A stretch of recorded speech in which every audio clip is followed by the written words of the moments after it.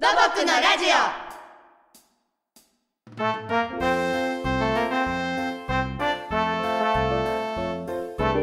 皆さん土木好きですか？えー、ピンとこないななんて思ってらっしゃいません？でもね土木は思っているよりとても私たちの身近にあるものなのです。この番組では土木関係者や土木好きの方をゲストにお迎えし中央区を中心に東京のインフラに関する旬な話題や土木の魅力を分かりやすくそして熱く語っていただきます。皆さんに少しでも土木に興味を持っていただき身近に感じてもらうきっかけとなるような情報を発信していきます。土木のラジオドボラジ。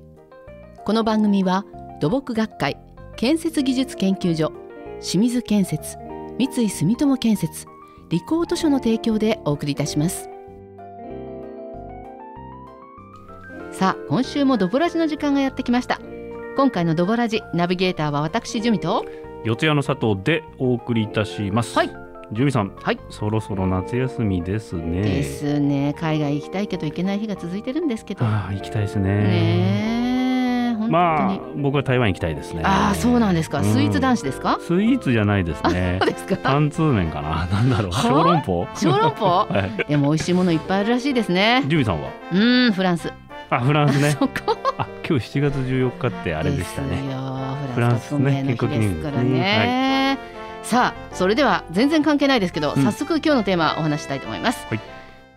今回のテーマは土木偉人シリーズ八田余一パート1です。はい。八田余一さんはこれまでゲストの方でもね、いろいろ名前上がってた人ですよ。そうですね、あの本当に待ってましたという感じなので楽しくお話伺っていきたいですね、はい。ではゲストの方をお迎えしてのトーク始めていきましょう。今回のテーマ土木偉人シリーズ八田余一パート1についてお話を伺うゲストの方はもう本当におなじみです。尾形秀樹さんでございます。尾形さん本日もよろしくお願いいたします。はい、よろしくお願いします。はい、さああの尾形さんのプロフィールご紹介したいと思うんですけれども尾形さんは現在理工図書の顧問をなさっていらっしゃいます。そして土木学会土木広報センター土木リテラシー促進グループに所属なさっています。また日本で初めて土木広報論で博士号を取得なさっています。土木学会から発行されている土木偉人カルタの監修もなさっているんです。本日の土木偉人八田余一を主人公にしたアニメ映画「パッテンライ」の企画原作者でもいらっしゃいます。尾形さんしばらくぶりでございます。はい、しばらくぶりです。はいスタジオでお会いするのはもう2年約2年ぶり。そんななりますかね。ねえずっとこうコロナでこう来たわけですけれどもお変わりございませんでしたか？はい、はい、なんとかやってます。あの 尾形さんあのこのコロナが少しですね収まってきたらということですけども海外に行けるようになったらまずどちらにいらっしゃりたいと思ってらっしゃるんでしょう？まずずっと待ってますけど、はい。台湾にまた行ってあの三島ダムの園庭を歩きたいですよね、佐藤さん。ね。ねえって、ねそこで四谷の佐藤さんに、はい、うんはい、佐藤さんとはね一緒にそう土木学会うん台湾視察うさん行きましたからう。さんうさんとダムダム仲間っていうんですかね。はい、ダメ仲間ですね。はないるほどね。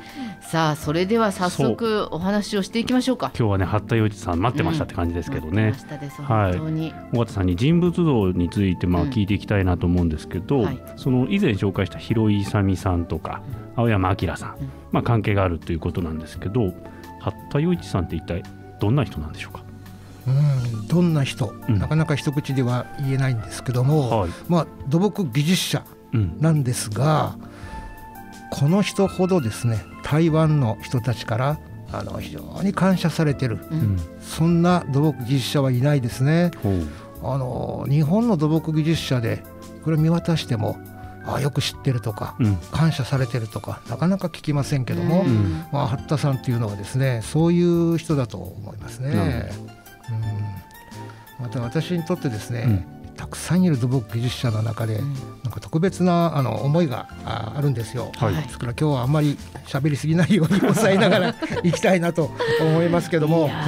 まあ、私あの八田余一さんとの出会い。はい、これあの大きく2つありまして、はい。え一つはあの土木の絵本を作る時にですね、うんうんうん。取材に行ったんですね、これが今から20年ほど前現地取材にいらしたということですね。台湾のそうなんですね、それもうん5月8日を目指して行ったんです。はあ、は5月8日。大事な日なんですかね。はい。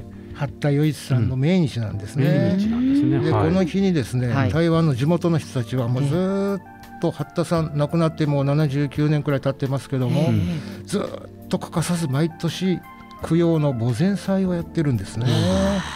まあ、そこに行ったんですよ。うんええ。5月8日えはい。はい。暑かったですね。5月というと台湾暑いですね。あそうなんですか。はい。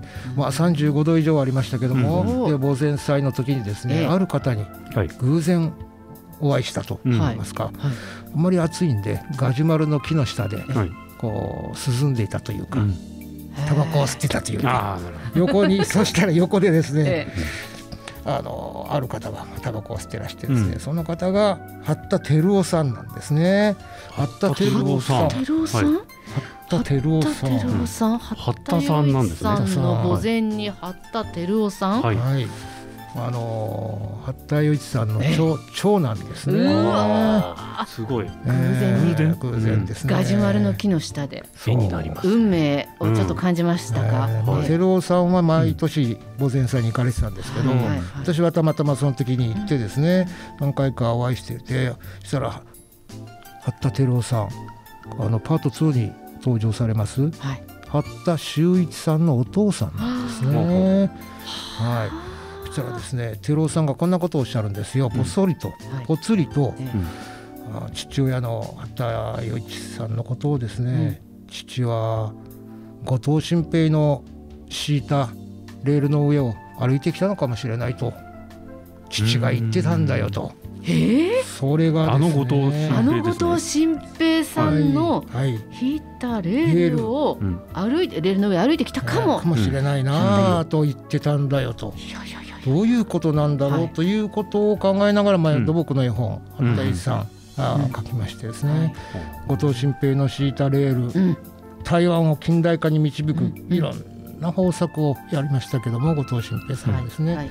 まあ、そんな中でですね、あのー後藤新平の敷いたレールの上でいろんな土木者が活躍した、うん。その中の一人とうん。いうことが言えるのかなと思うんですね。が八田洋一さんなんですねはいそしてもう一つ、もう一つ。はい。はいもう一つの出会い、うんこれは先ほどご紹介いただきましたアニメ映画「パッテンライの」うん。はい。これでまた取材に行くわけですよ。うん。なるほど。これでやっぱり御前祭。はい。そうしましたらですねそこで一人の台湾の河南農電推理会というところにお勤めだった徐金中さんという、はい。うんまあ、古老の古老の方ですね、はい。その方がいまして、ええ。非常に流暢な日本語でお話しされてまして、その方から教えてもらった言葉に飲水資源飲水資源飲水資源、水を飲む時はうん源を思ううんということはつまり自分が水を飲む時は、はい。うんその井戸を掘ってくれた人のことをうん。考えて感謝しなさいと。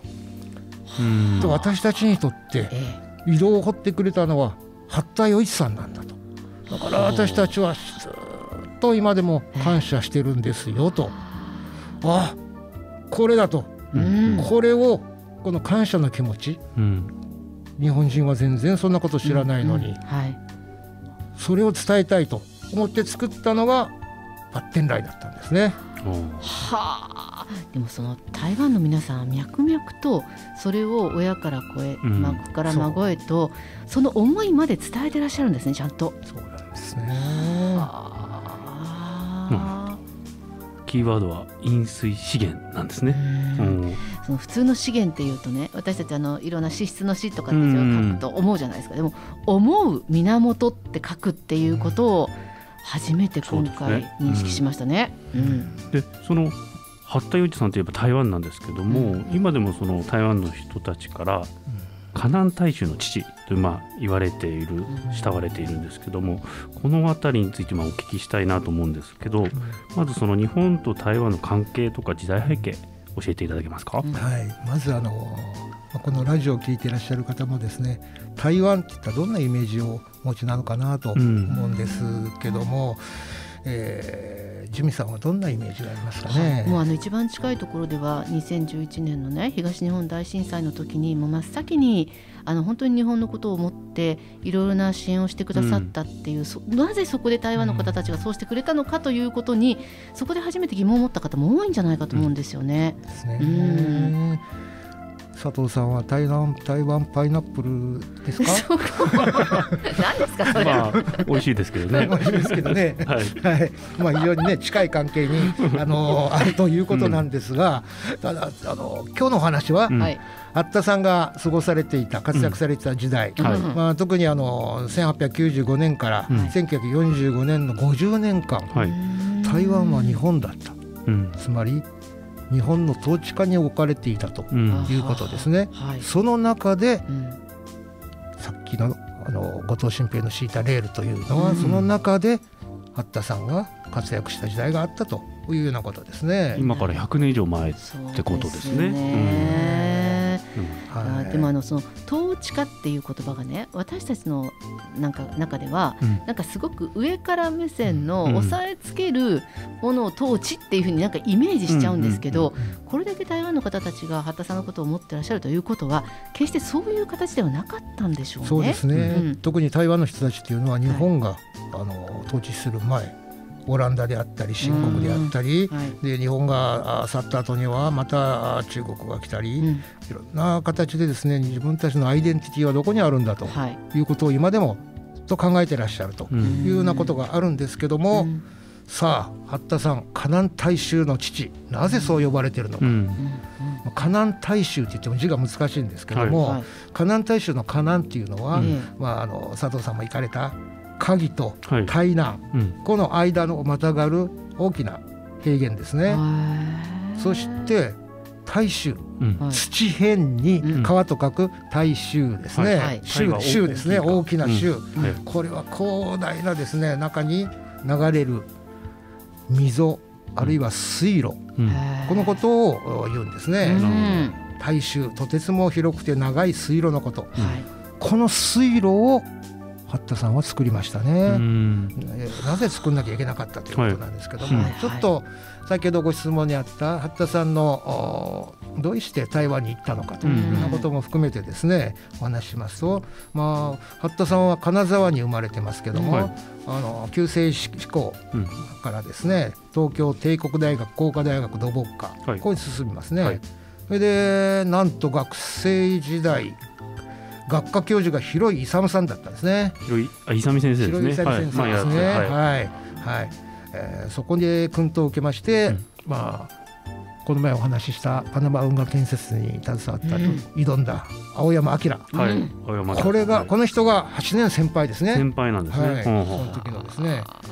でまあそういう影響もあってですね、はい。大学を卒業して八田さんは台湾に渡るわけですね、で台湾総督府内務局土木課に勤務してさあその時のお様子、ん。台湾の様子。どんな感じだったん最初はですかね。ですね、まあ、何にもないようなところとよく言われてますけども中国から毛皮の地なんて言われたりもしてましたけどもただたあの八田さんはいろいろ台湾の中を調査して回ったり、うん。経験を積んで大正7年にですね、はい。そこに行くわけですけども、はそうするとその河南平原思わず息を飲むんですね。うん。と言いますのはその土地三重苦と言われてまして、はい。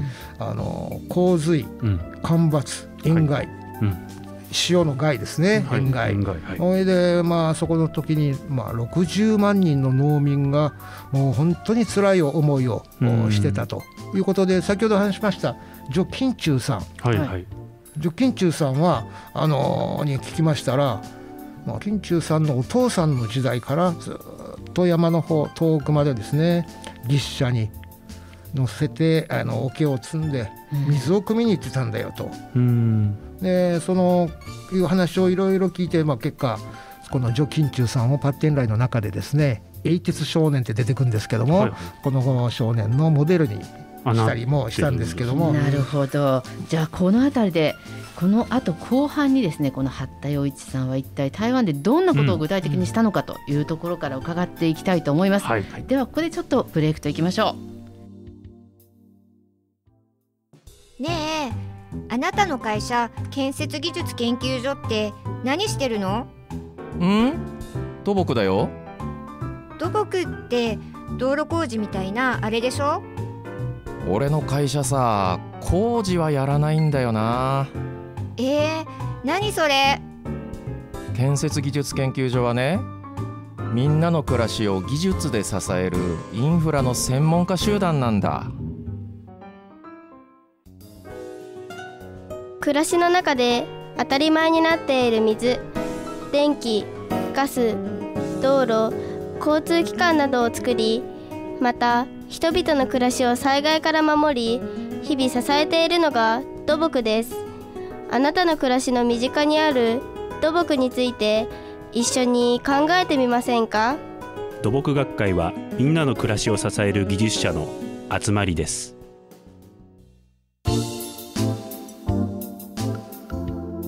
土木のラジオドボラジ。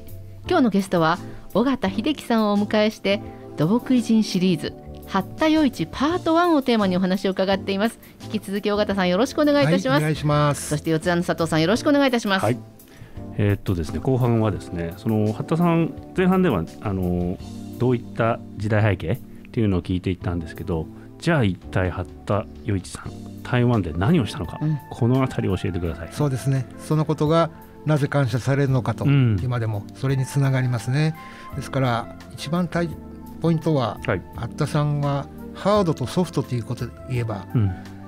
ウサン島ダムとかはい。ダムを作ったり水路を作ったりもちろんそれも大変なことでしたけども、うん。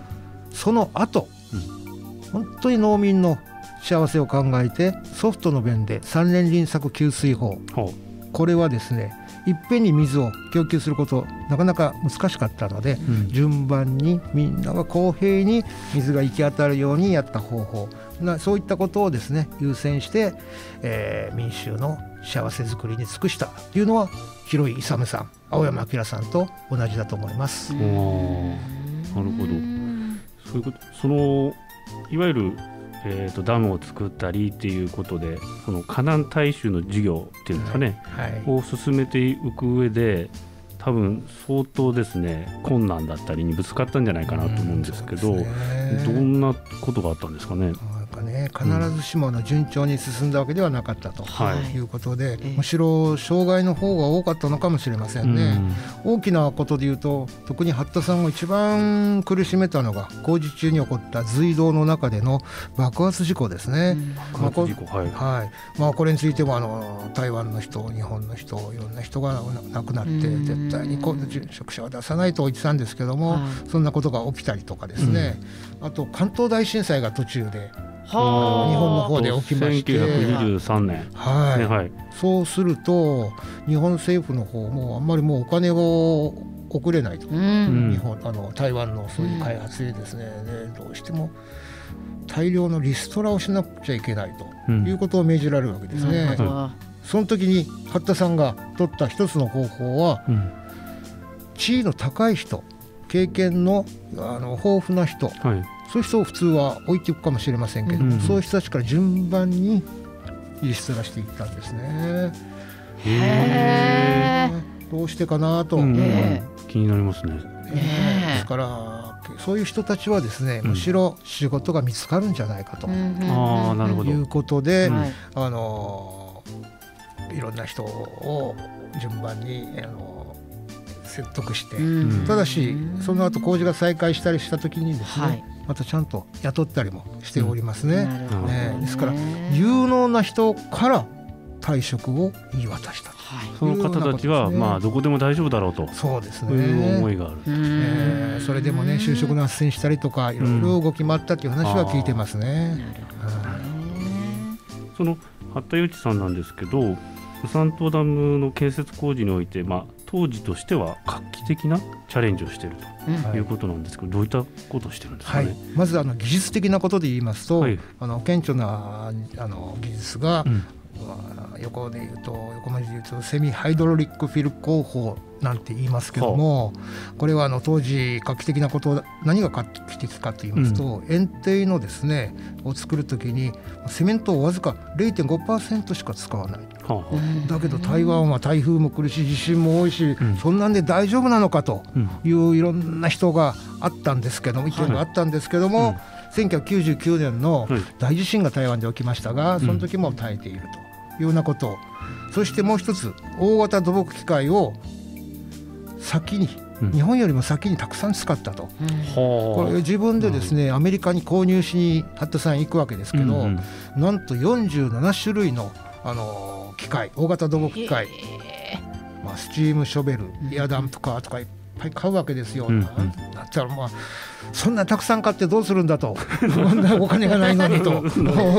言うの言うんですけども、あのソフトクフの人はですね、うん。いやいやこの方が工期は短く済むんだと。んいうことで,、でそういう先駆的なですね大型土木機械を使うことが次後々の日本本土でもですね、えーいろんな事例としてあの参考にできたと。なるほど最先端の技術を持ってきてるそういうことですねね。え発発想がうんいつもお先ほどの退職者の話でもそうですけども、逆転の発想みたいなことですね。そうですね。うん。はい他には？そして、えやっぱ私一番感心するというか、はい。あのダムのうん現場の近くに、はい。あの町を作ってるんですよ。うん町と言っても、はい自分たちはあのもうあの作業の人もみんな働く人たちは現場のそばに住まなきゃいけないとうんい。うのがあの青山明さんもそうでしたけども、うんまあ、そういうことで、うんえーいろんなものをそこに作るわけですね。はい。あの宿舎だけじゃなくて、うんまあ、今でもですね復元されてますけど、はい。テニスコートですとかはあ病院学校プール。もういろんなものを作って、うん。えー、ウサン島にまるでニュータウンができたような、うんような感じの場所を作ったと。なそこでその技術者だったりは家族と共にそうです過ごせたね。だから八田さん自身もですね、まあ、工事期間中は家族と共にうん。そこの町で生活していると。うん。いうことですね。そういったまあたくさんありますけどもその3つのことが非常にあの特徴的かなと思ってます。でその八田さんが手掛けたこの事業で台湾の人たちの生活はどう変わっていくんですか、そこですね、はい。ですから工事をしてもうん。まだ志半ば終わってもですね、作るだけではダメだとうん。いうことでじゃあ何が変わったのかと。はい。先ほど上金中さんの話うん。遠くまで水を汲みにうん。列車で行っていたというような生活がまず変わる。うん水が流れてくるわけですからね、はい。ですからもう流れてきた水を神様の作ってくれた水だと、うん。うん。神の水だって言って喜ぶんですね、うん。でそのことによってまず子どもたちの生活環境うん。教育環境、少しずつ豊かになっていきますから、学校に行けるようになったとか、うん。あのー笑顔がよく増えたとか、うん。家族の、うん。まあ、どんどんそうやってですね、うん。ライフスタイルがうん。豊かにはい。変わっていく、これが多分土木技術者のうん。本会かなとうん。いう気がいたします。ね。影響力がなんだろうすごすごすぎませんかすごいというか。本当に。だから、うん。あらゆるものがいい方向にうん。こう回り始めるっていうんですか、うん。ね、そういうことが連鎖的に起こるわけですからね。そうですね。うん。それになどうしてそんなに台湾の人たちのはい、ために一生懸命やるんだろうと。うん。自分を投げ打ってですね。これまるであのお坊さんの行基のですねうん。利他行のような感じで、と思って調べましたらやっぱり旧世思考の時に、うん。四校の時にあの西田喜太郎という哲学者にうん。習ってんですね。うん。なるほど。そして浄土真宗真宗。はい。この教え人のために尽くすということも頭の中にあったんだろうなという気がしています。はあ。でその最初にも出ましたけど尾形さんが携わったパッテンライ、うんアニメ映画ですけども、はい。これのなんかエピソードがあったらお聞きしたいですね。はいパッテンライ、うん、ハッタが来ると書きますね。うん。えパッテンライ、はいパッテンライうんなるほど。はい。これ台湾語ですね、うん中国語でパーテンライはい。これのタイトルは、うん実は最初にですね八田照夫さんの先ほど出ました、はいはい回想録の中に出てきたんですよ。いへー。や親父が町の方に入っていくと、うん。みんなパッテンライパッテンライって言って逃げていった。逃げていった。逃げていった。なあー。八田が来た。ハッタが来たハッタが来た。はい。それがもう最後の本の後はあー八田さんが来てくれたと。あー。風に変わっていくと。パッテンライっていう言葉の持つ意味合いが変わってくるんですね。鬼が来たっていう感じがだん。だん神様が来てくれたと。そういうパッテンライという映画だったんですね。まあ先ほどもお話ししましたいろんな人にお会いしましたし、うん。この映画を通じてですね。ただし映画がうん。配給が決まらないんですよ。映画配給あの映画館の人があと僕をテーマ土木技術者が主人公人入んないよと、うん。そんなアニメはと言われましてどこに行っても配給が決まらないとうんうん。いうことで、土木学会をにうーんと協力しまして、はい。土木応援券1000円というのを作りましてそれを先にたくさん、へ あの あの買ってもらいまして、うん。そのことによって、えー配給があ決まったと、うん。こういうようなこともあるんですけど、うん。うん。うん。うんただし台湾では。この映画がうんできて試写会に李登輝さんジュディ・オングさんもういろんな人が来るわけですよ。そして台南市内の、あのー小中学校ではそういう試写会が行われたり、うん。台湾にあるう13の映画館、全部じゃないですけども、あのーそこでもうどんどん上映されると。日本では考えられないぐらいにたくさんの人が見てくれていつの間にか DVD の海賊版がいっぱい出回ってるというね。それくらいにね、あのーこの映画のことで盛り上がっていただなるきました。ほど。ありがとうございます、ね。ちょっとまだまだお話を伺いたいんですけどうん。最後に尾形さん、はい。八田洋一さんを通じて現代の私たちが学ぶべきこと教えていただきましょはい、これあのたくさんありますけども一つの動きとして報告しますと、うん。八田余一さんを検証しようという動きが金沢から始まって、う、はい。それがどんどんどんどん他の地域にもち伝わりまして、はい。例えばあの広井勇につきましては、はい。高知市の広井勇を検証する会。うん。宮本武之助さんについては、はいえー愛媛県松山市の宮本武之助を忍び検証する会、うん。そんな形でですねいろんなとこで。はい。うん。いろんな人それが土木技術者。うん。こんな風にですね地域の方からだんだんだんだん見直されていると、うん。いうことで、ああ自分たちの身の回りにはたくさんそういう人がいたんだなということで今日皆様にあのお伝えしたいのはうん。私たちの身近にいる土木の偉人土木の恩人さあ探してみましょう。素敵なメッセージです。ありがとうございます尾形さん。いややっぱり土木って面白いですね。それでは最後に全員の掛け声で締めたいと思います。いきますよ。ドボラジ終了よし。ドボラジ終了よし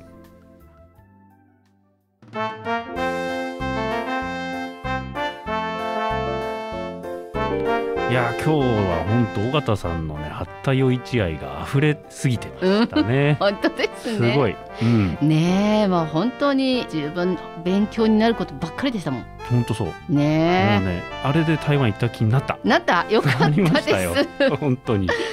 さあ次回ご紹介しましょう。次回は田中直人さんをゲストにお迎えしてまちづくり地域づくりの現場をテーマにお話を伺おうと思います番組へのご意見ご感想はボイスアットマーク FM840.jp までお寄せください。また番組ホームページや YouTube に収録時の様子をアップしています。こちらもチェックしてみてくださいね。土木のラジオドボラジこの番組は土木学会建設技術研究所清水建設三井住友建設リコート所の提供でお送りしました。それでは来週も土木のラジオドボラジでお会いしましょう。